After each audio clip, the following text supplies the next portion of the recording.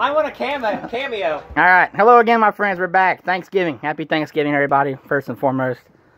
And uh, we're back here, family members, Uncle Jim, cousins out here. Great day, temperature. Weather-wise, actually pretty nice. We're probably close to 50. It's very, uh, very marginal out here. So here we go. I got a local beer today that I have tried. Uh, this is the Urban Artifact Chariot.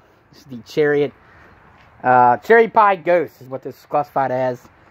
But I tell you what, Said this before, third or fourth Urban review. Just right now, my favorite brewery is Cincinnati. Doing some tremendous things, and they continue to to put out some good products here. And this is uh, again the Cherry Pie Ghost here. The alcohol is pretty light, 4.7 percent alcohol by volume, so not not strong. Uh, 4.7.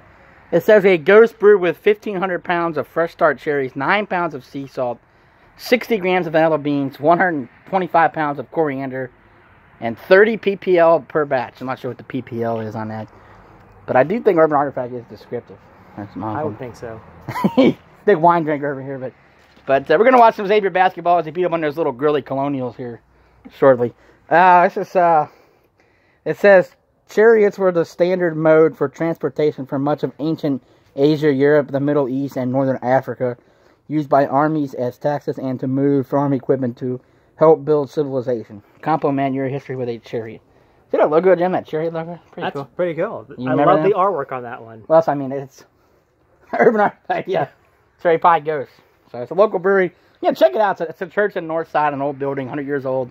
Pretty cool facility. Uh, continue to produce beer. So let's go ahead and get a, a quick uh, quick pour here and get an aroma on the big the big chariot. I've had this beer before. It's pretty good. Classic Urban Artifact. Good ghost beer. Yeah, see my buddy from there. Come in and say a word about the Bombers. Well, come on. He doesn't want to get in here. I don't want to talk about the Bombers. He doesn't want to get in here. So let's go ahead and get a pour. Cherry Pie Ghost. Have you had this before? I have. Tell you why the said everything Urban Artifact though. There's my other cousin. And look at the color. Boy, it looks like a cherry pie. I tell you what, that is really. When I re- when I drank this the first time, I didn't actually pour it out into it. I drank it out of the can. That is a tremendous color.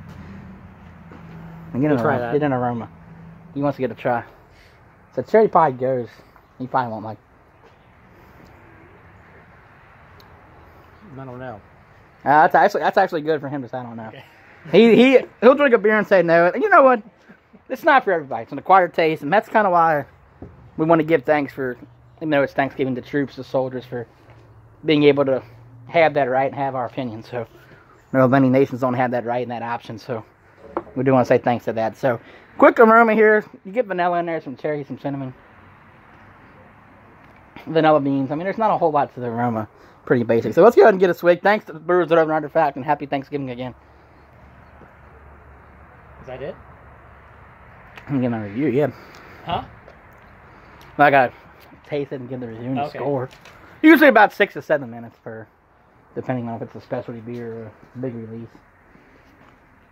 Tell you what, very good vanilla finish. A lot of cherries. Uh, what did it say on the can? 1,500 pounds of fresh tart cherries. That's per barrel. That is insane. I think that's. I don't want to call them lying, but I think that's a bit excessive. I mean, 1,500 pounds. Think about that per per per barrel of beer. I mean, that cannot be accurate, can it? Huh? 1,500 pounds of cherries per barrel of beer cannot be accurate. Oh, well, I don't know. That seems like a lot per. That does. I mean, that seems excessive to me. But uh, well, I tell you what, it looks looks like almost like a what would you call that color? Like a it's very. Dis- I don't know what you even call that color. Like a A, Yeah, a grapefruit.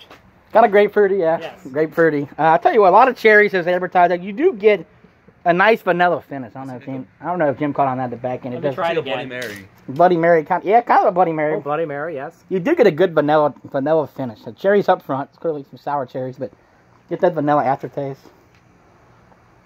Yep. Pretty solid. I mean, I, I think it's a B plus beer. I mean, it's not not my favorite urban artifact, but it's certainly drinkable and acceptable uh, on the Thanksgiving table. So B plus here. Uh, that's going to wrap it up here.